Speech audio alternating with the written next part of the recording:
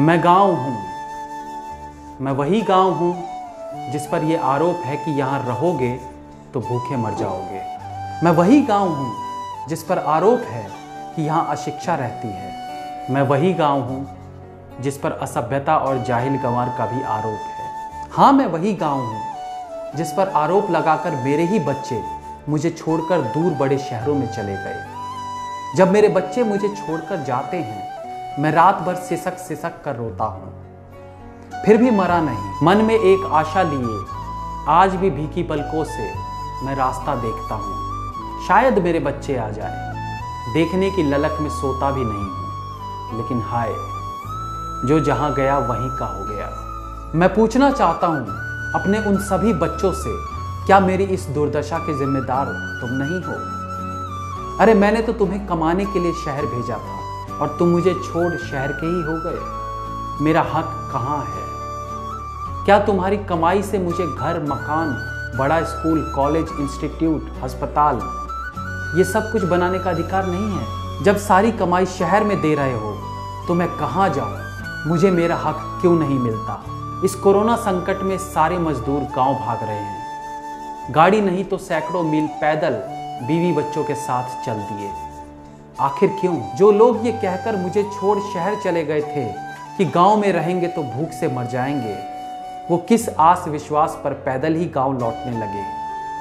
मुझे तो लगता है निश्चित रूप से उन्हें विश्वास है कि गाँव पहुँच जाएँगे तो ज़िंदगी बच जाएगी। भरपेट भोजन मिल जाएगा, परिवार बच जाएगा। सच तो यही है कि गाँव कभी किसी को भूखा नहीं मारता। हाँ मेरे लाल, आ जाओ, मैं तुम्हें भूख से नहीं मरने दूँगा। आओ फिर से मुझे सजाओ। मेरी गोद में फिर से चौपाल लगाओ। मेरे आँगन में चाक के पहिए घुमाओ। मेरे खेतों में अनाज उगाओ। खलिहानों में बैठकर आल्हा गाओ। खुद भी खाओ, दुनिया को खिलाओ।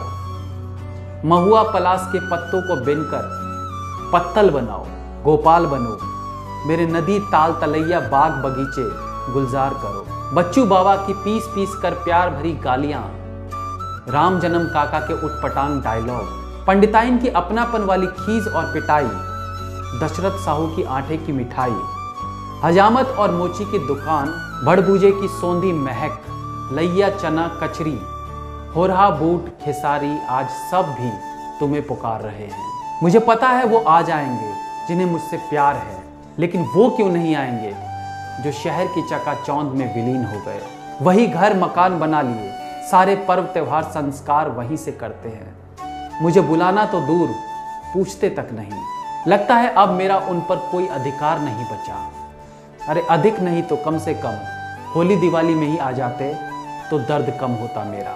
सारे संस्कारों पर तो मेरा अधिकार होता है ना। कम से कम मुंडन, जनेऊ, शादी और अंत्योष्टि तो मेरी गोद में कर लेते। मैं इसलिए नहीं कह रहा हूँ कि यह केवल मेरी इच्छा है ये मेरी आवश्यकता भी है। मेरे गरीब बच्चे जो रोजी रोटी की तलाश में मुझसे दूर चले जाते हैं उन्हें यही रोज़गार मिल जाएगा। फिर कोई महामारी आने पर उन्हें सैकड़ों मील पैदल नहीं भागना पड़ेगा। मैं आत्मनिर्भर बनना चाहता हूँ। मैं अपने बच्चों को शहर की अपेक्षा उत्तम शिक्षित और संस्कारित करना चाहता हूँ। मैं बहुतों को यही रोजी रोटी भी दे सकता हूँ। मैं तनाव भी कम करने का कारगर उपाय हूँ। मैं प्रकृति की गोद में जीने का प्रबंध कर सकता हूँ। मेरे लाल, बस तुम गाँव आ जाओ।